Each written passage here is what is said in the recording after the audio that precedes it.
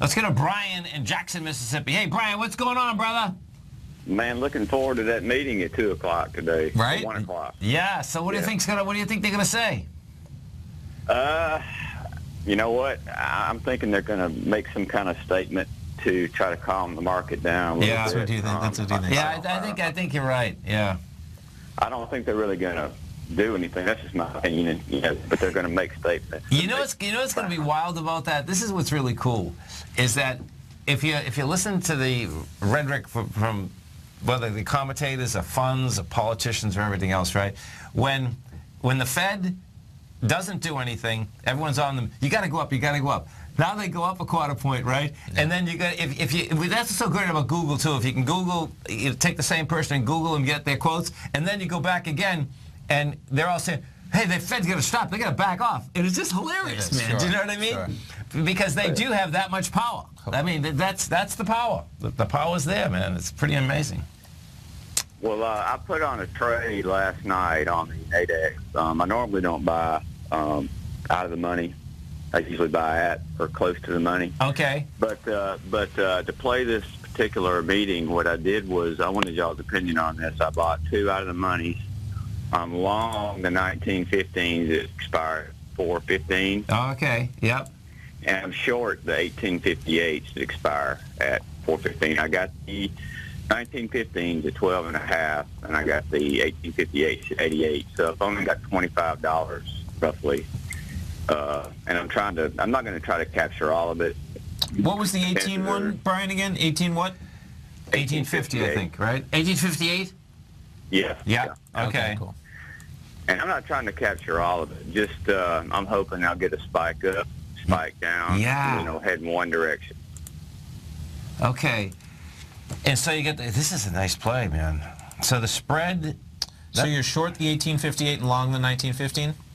Right. Cool. Yeah. Right.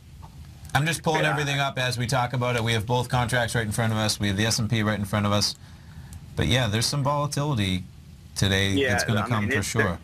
They're kind of far out of money, but it's still within a you know a, a range of about 60 points. Where the other day it was a 72 point daily range. So I mean it's still within the range, especially on a day like today. Um, I just wanted you guys' opinion to think that I mean is there a chance it could hit both? Uh, I've never done it this way. I've never tried to you know straddle like that.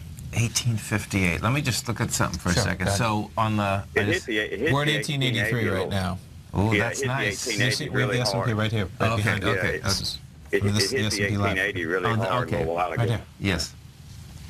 So But uh, so we went from 91 to 83.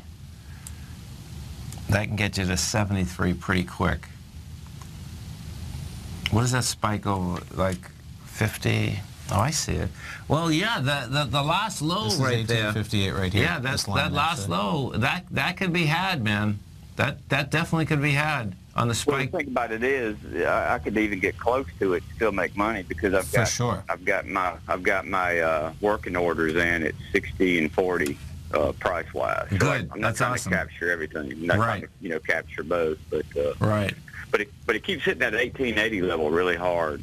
Uh, that's the only thing that's Yeah. making me think it may not may not spike down, but may go up, which would be okay. I'd still make money that way. Right. Going the other way. You just need to pop one way or the other. And My, my bias right now is that it would go up. What you have going for you though right now, which is really cool, is that the way this market is trading, it's so nervous that you could get that spike down first. Sure. Do you know what I'm saying? Um, And this is kind of what Kevin was talking about yesterday, though. You take, you're not trading directionally, you're trading volatility, which is kind of cool. exactly. Yeah. No, exactly. Because you're going to have the vol.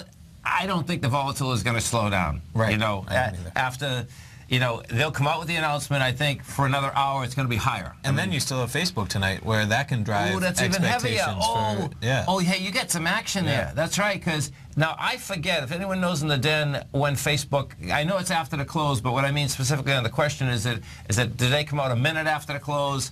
You know, Apple comes out at 4:30. It, it when I pulled it up, it didn't say what time they come out, but that's gonna that's gonna that's gonna drive it also. Uh, The Fed's the big deal Yeah, for you. for There's no doubt. Yeah, and I- I'll just uh, before I get off, I'll just you know this is not really a plug for Nadex, but I'll just ever since I've, I've been doing Nadex now for about six months, and I tell you, if if you got just a regular uh, uh, trading account, I mean, you, you can hedge your risk big time with with this. Yes. I mean, you, I mean that's one It's thing I huge. like. It about is, no. Yep. And But guys, thanks a lot. I appreciate it. Thank you, man. We really appreciate it. Have a great one, Brian. Have Thanks, a safe Brian. one. Yeah, the, you know, the, the, there's no doubt, folks, when, if you haven't test drove the Nadex platform yet, you can come over to our website, you can bring up the platform, they put $25,000 of paper money. Um, you get used to the contracts. If you are a futures trader, um, you can... Yeah, there's there's moments we've went over them Yes. before. Daryl's really good at demonstrating these in terms of you know the exact money that you need to put up, whether it's you know 40 contracts. You can actually hedge huge positions just Right. for paying a small bit of premium, which you're paying that premium, but you're paying it as an insurance policy for a massive amount on some contracts using Nadex. That's right. And what the difference is, and this is what's so cool, folks, on an on an announcement like today, um, you can hedge this in the futures market, but you pay a fortune because you're hedging it going forward, whether it's two weeks, three weeks, four weeks. Sure. And the Nadex market, guess what? You're hedging this to 415 this you have afternoon. like a big time out of the money spread or something like that. Exactly. You're paying Right. one to two dollars per every forty dollars of that spread or it's something huge, like man. that. Right. I mean, it's absolutely huge. No doubt about it. Yeah.